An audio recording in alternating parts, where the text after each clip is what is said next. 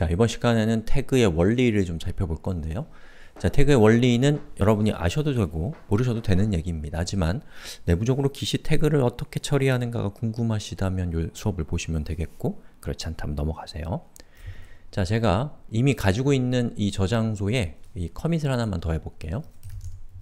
f1.text abcd e 자, 새로운 커밋을 그냥 만든 겁니다. 그리고 제가 git commit 마이너스 마이너스 am5라고 해서 커밋 로그를 만들었습니다.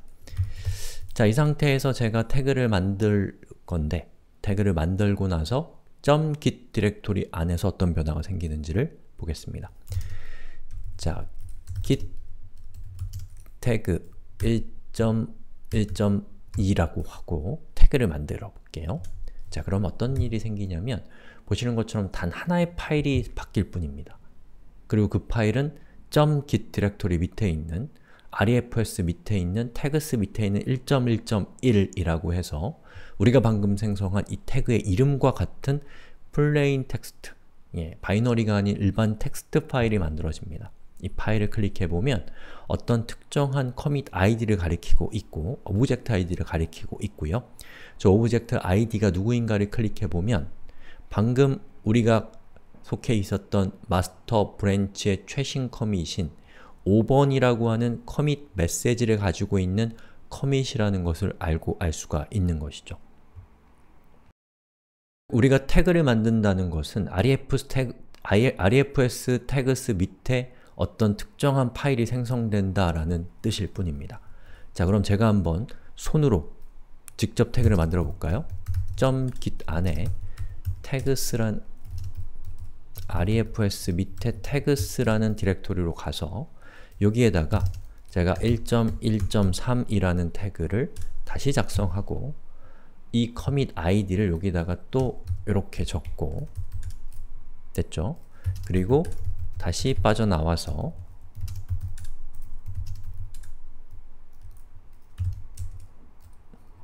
git 태그라고 하면 보시는 것처럼 1.1.3이라고 하는 태그가 생성이 된 겁니다. 즉, 우리가 git의 인터페이스를 통하지 않고도 그 규칙을 알게 되면 직접 우리가 태그를 생성할 수도 있다라는 것이죠.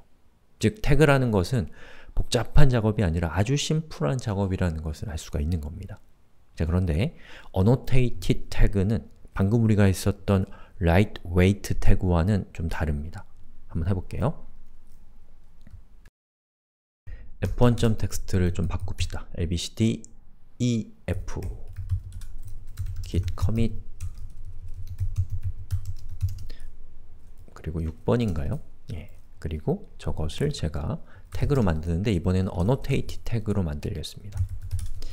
git 태그 -a 1.1.3 그리고 메시지는 음, bug fix라고 합시다. 엔터 아, 어, 벌써 있네요. 그러면 4라고 해서 하고 어떤 변화가 생기는지 보면 두 개의 파일이 생깁니다.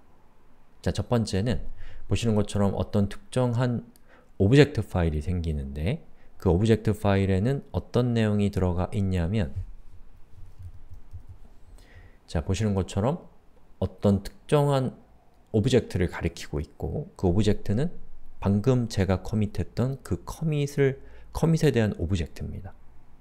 그리고 여기 보시면 방금 우리가 생성한 그 태그의 이름인 1.1.4가 있고 이 태그를 이고잉이 만들었다는 사실과 이 태그에 대한 설명인 bug fix가 여기 들어가 있습니다. 자 그리고 여기 있는 refs tags 1.1.4는 얘는 누굴 가리키고 있을까요? 방금 제가 보여드렸던 그 태그의 annotated 태그에 대한 정보를 담고 있는 object 파일을 가리키고 있는 것을 볼 수가 있습니다.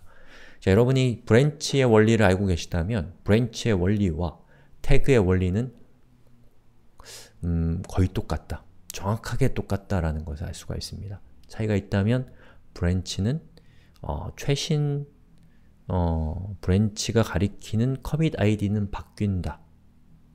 태그는 commit id가 바뀌지 않는다 라고 하는 그 차이가 있을 뿐 내부 메커니즘은 완전히 같다는 것을 알 수가 있죠. 여기까지.